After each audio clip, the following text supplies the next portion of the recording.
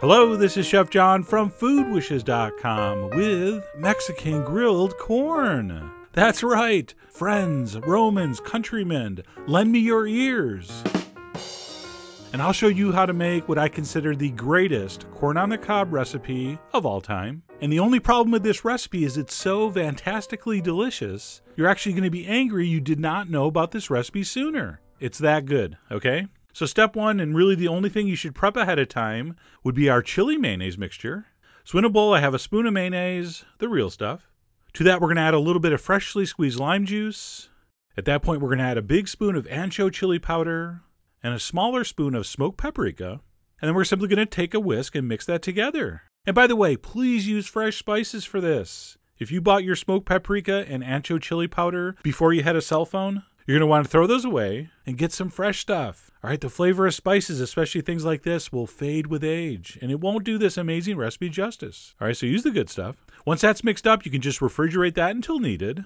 And then the other thing you want to prep ahead would be some melted butter. And of course, you could do it in the microwave. I'm going to do mine in direct sunlight. I think it tastes much better that way. All right, so we're set on the mayo and the butter. Next up, we're going to prep our corn, and all I'm going to do is boil it in salted water for five minutes. Now, traditionally, I believe these are grilled in the husks, but I didn't feel like messing with that. Besides, I already shucked the corn at the supermarket. So, like I said, I'm going to boil that for five minutes in salted water. And by the way, you farmers, can you answer this for me? And you can see as I pull this out here, some of the kernels turned a rusty color. Here, let me turn this one around so you can see what I'm talking about. Why is that? Please, farmers, I need an answer. Since we're going to grill this, I don't think it matters, but I'm just curious. But anyway, we do want to pre cook our corn a bit before we hit the grill, which is our next stop. So I'm heading out back. I'm going to place this on a hot charcoal grill. And yes, of course, you could use a gas grill for this, but I really think the smokiness from the charcoal adds a lot to it. And by the way, the reason they're rolling, I had them perpendicular to the grates. Everybody knows you have to put the corn going the same direction as the grates, or they will roll. So I fixed it. But bottom line, just keep turning it on the grill until it's as done as you want. Now, some people just barely want a little bit of golden brown on there. Other people like it almost completely charred. But for me, I like it somewhere in the middle, as I do with most things. All right, so I don't want it too black, but I do want some very nice caramelization. It's really going to sweeten that corn up, and of course, add that little bit of smokiness, which I think adds so much to this. So I'm going to pull that off. We're going to head back inside, and onto that hot, smoky corn, we're going to brush our melted butter. And you're probably thinking, hey, I'd just eat it like that. It looks delicious. Well, you're right. But hold on. We're going to kick this up not one, but two notches. All right, so after you apply the butter, I want you to take your ancho lime mayonnaise and brush it on, and not just a little. We want complete coverage. All right, so brush that on shamelessly until it's completely coated with a nice thick layer. And then the best part the grating of the Mexican cheese. So we're using a white cheese called cotija, and you can read about that on the blog, but it is a very mild cheese. It sort of tastes like an undersalted, slightly drier feta, which may not be the most delicious sounding description, but trust me, with this combination, it is unbelievable. So we're going to grate that over generously.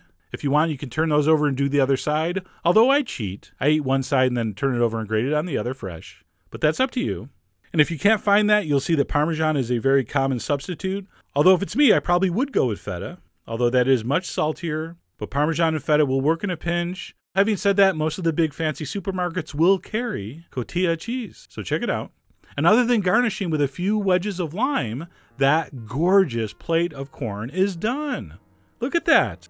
You may never do grilled corn any other way. It's that delicious. The way that mild, subtly salty cheese works with that ancho lime mayonnaise, along with that buttery, smoky corn, it is just a magnificent combination of flavors. It's just one of the world's great corn recipes. And I have to say, I never film at this hour of the day because of the way the sunlight goes through our neighbor's trees, but here it kind of works. Plus, I didn't notice till I already started editing. But anyway, crazy lighting aside, this was perfect. Or as they say in Mexico, perfecto. No, I don't speak Spanish, but I am fluent in like 20 words, perfecto being uno of them. So, anyway, very simple, very easy. You can prep your mayo and corn ahead of time and then just grill and eat when you're ready. So, I really, really, really hope you give this one a try. Head over to foodwishes.com for all the ingredient amounts and more info as usual.